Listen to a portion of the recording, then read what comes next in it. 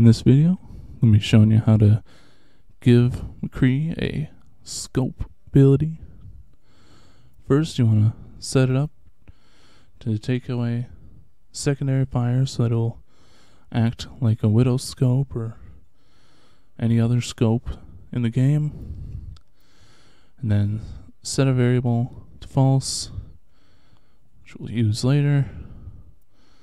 Then to get the scope appearance is the button held secondary fire true and is the variable false. So false is the default which will indicate that it's the normal view and when it's true it'll indicate that you're scoped in.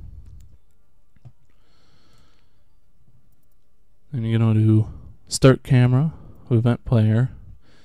The eye position will be three adds in a row. Eye position event player. And then the next bunch will be shifting it over so it's at the barrel of the gun. You can adjust these however you see fit. But multiply right by a little bit. Point one works.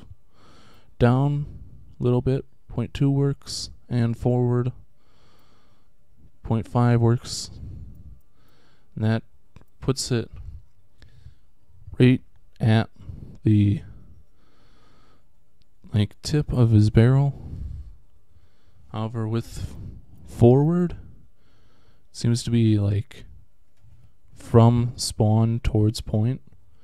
So you can mess around with that however you want. Just to make it work as well as you want, but this makes it look pretty good as long as you're not facing the spawn doors. And look at position will be the raycast hit position, starting at the eye position, ending at the addition of the eye position of event player. Add that to the multiplication of the facing direction of the event player and a thousand. So it's wherever the reticle would be aimed at. Just so that it lines up when you shoot. Then all this you pretty much don't have to change. Have a short wait and then set the scope variable to true so that it knows it's scoped in. and then I have this in to kind of take away the fall off damage just because when you're scoped in you're not probably not going to want to have fall off damage so when it's scoped in this could probably should be changed to when the scope variable is true just to make it more consistent. And when firing you could do simple way which would still have fall off but it would be stronger than a standard bullet. Whereas the with a 200% damage modification the furthest fall off will be the same amount as the unscoped maximum amount of damage. So with fall off it's 35 if you do this it's 70 but that means if they're close you'll do 140 or you can do all of this which is a bit more complicated but makes the damage basically 70 the whole distance and you can change that kind of easily. I'll get to that in a little bit.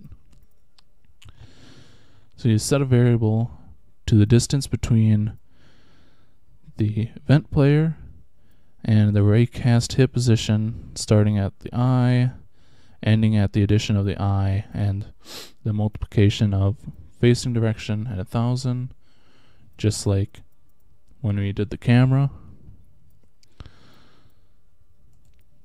So that'll store how far away whatever you're aiming at is. Set a variable to subtract the last variable from 20 because that's where McCree's fall off starts. Modify the last variable so that it's at least 0 and at most 25, which is where fall off stops happening. Well, if you add 20. So if it's 20 or less, it'll always consider the fall off distance 0 and if it's 45 or more away, it'll consider it at the max fall off distance. After that, set damage dealt by event player to the addition of 100, which would be normal amount of damage. You could increase that if you want it to be more scoped in just naturally.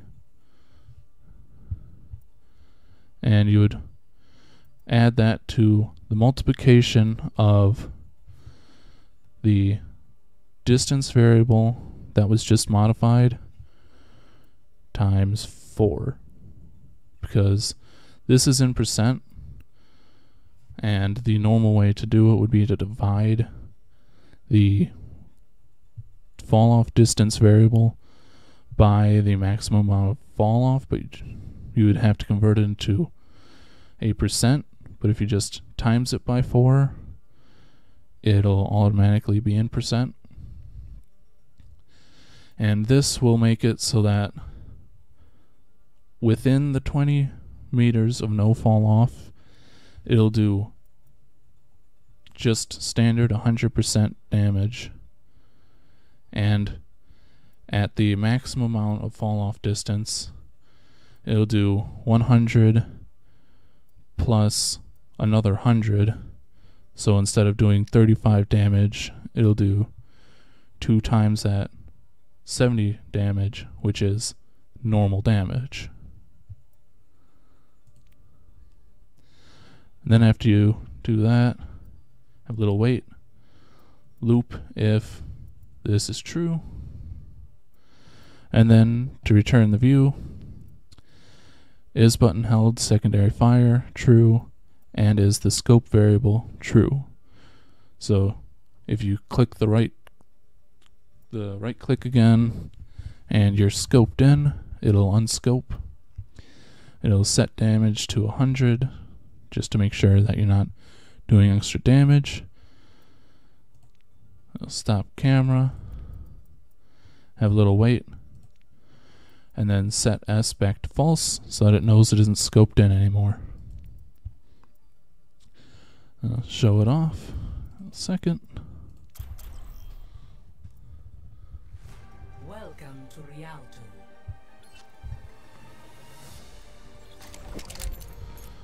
Straight now, the view is normal. And if I right click, scope in. And again, because it's the forward, down, and right uh, commands, it does kind of depend on where you're looking, how well it lines up. Like right here, it lines up exactly with the barrel. If I turn around, ends up at the back. But you can mess around with that however you want, or you can try and have it be a matrix or a vector that it's moved by, which would be a bit more complicated.